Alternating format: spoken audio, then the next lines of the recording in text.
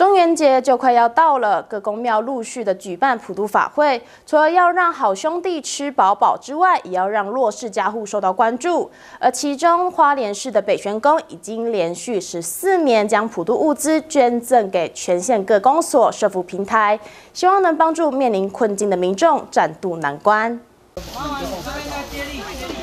物资一代接着一代，在公庙人员及公所同仁的协力下，接力搬运上车。这是花莲市北玄宫连续第十四年进行普渡物资捐赠活动。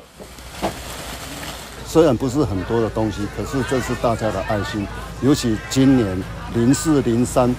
及台风风险造成花莲的灾损，受灾户一些困苦的人更多。今年的参加捐赠的贡品的信众也比去年又增加了一百桌。正常去年是一千一百九十一桌，今年是一千两百九十一桌。我们也把这个物资呈现给各单位，所以大你们可以看到现场那么多的物资，我们就依序按照各单位来领取，啊，来帮助更需要的人。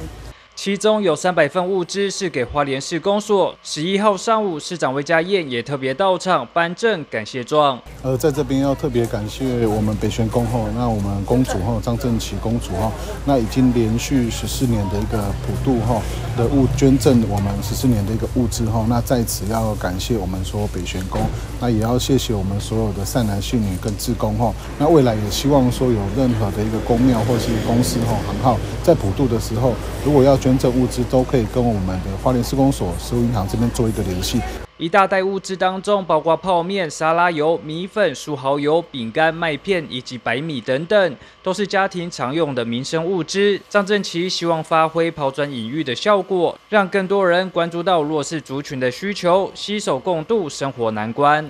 记者徐丽琴，花莲市报道。